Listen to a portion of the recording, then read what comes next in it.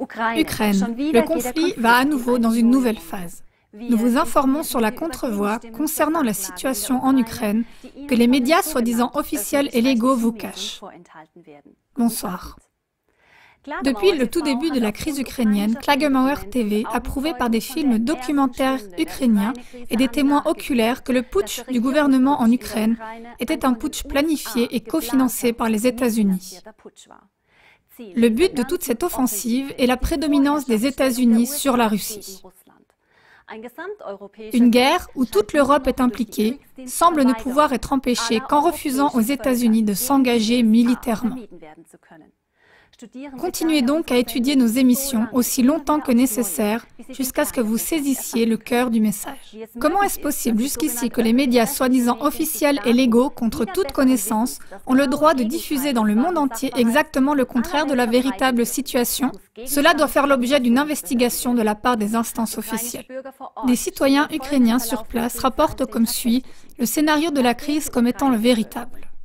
Comme le peuple ukrainien ne voulait plus se laisser dominer par une minorité criminelle, il commença à manifester sur le Maïdan sa protestation contre l'oligarchie. Cependant, cette protestation du peuple a été infiltrée, délibérément transformée et reprise par des entités terroristes. Des parents et des témoins ukrainiens nous rapportent que leurs enfants ont été littéralement achetés par des activistes organisés par les États-Unis pour ensuite être formés pour ce terrorisme. Tous les témoignages et films documentaires envoyés jusqu'ici à Klagemauer TV démontrent qu'en Ukraine, la terreur et la guerre sont entreprises sous faux pavillon. Le peuple ukrainien, par contre, ne veut pas de guerre. Et effectivement, quel peuple souhaite la guerre? Hier, le 31 juillet 2014, nous vous avons montré des images de mères et de pères qui brûlaient la lettre d'appel sous les drapeaux de leurs fils. Ils l'ont fait juste devant les yeux des sbires militaires qui les menaçaient de 5 ans de prison en cas d'infraction. Aujourd'hui, juste un jour plus tard, le peuple ukrainien se voit taxé d'un impôt de guerre de 1,5% des revenus, ce qui fait rentrer environ 10 milliards d'euros. Avec cet argent, le nouveau régime terroriste finance l'offensive militaire menée contre les prétendus séparatistes et les insurgés de l'Ukraine de l'Est. Comme d'innombrables films documentaires le prouvent, le combat des troupes militaires est mené incontestablement contre la population civile. Les adversaires du gouvernement de l'Ukraine de l'Est sont surtout des citoyens ukrainiens tout à fait normaux qui, comme toujours, ne veulent plus rien avoir à faire avec ce gouvernement criminel car ce sont exactement les mêmes oligarques, ceux contre qui était initialement dirigée la protestation sur le Maïdan, qui sont manifestement à nouveau en fonction. Ils prétendent combattre contre des rebelles, des terroristes et des dangereux nazis. Mais de nombreux témoins nous rapportent que l'armée infiltrée par des terroristes est en guerre contre la population ukrainienne. En clair, cela signifie qu'à partir d'aujourd'hui, les Ukrainiens sont de plus forcés de financer la guerre contre eux-mêmes. Pour ceux qui sont au courant de la véritable situation, le reproche toujours plus insistant selon lequel les prétendus séparatistes de l'Ukraine de l'Est se laissent soutenir par Moscou est de plus en plus invraisemblable.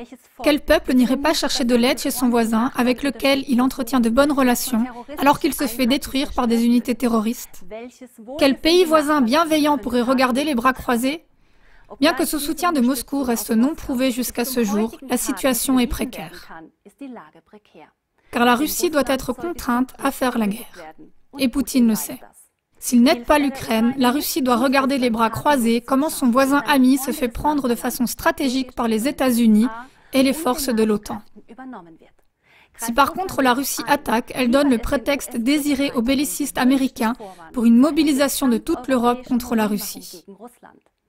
Le film intitulé Ukraine, clarté sur le seuil de l'enfer, nous montre à quel point la situation actuelle est dangereuse pour toute l'Europe. Nous vous prions de ne pas regarder ce film avec des enfants. Ce film sera prochainement sur ce site. Même si la situation mondiale actuelle est très tendue et qu'il est de plus en plus improbable que l'Europe soit épargnée de la guerre, ce film montre malgré tout un chemin qui apporte de l'espoir. Mais cet espoir doit être rendu public dans le monde entier. Maintenant que la censure sur Internet empêche de plus en plus la diffusion nécessaire de tels films, il ne reste plus que l'engagement de la distribution personnelle par chaque téléspectateur. Propagez donc partout où vous le pouvez le lien de ce film. Nous vous remercions d'avance pour votre participation. Au revoir.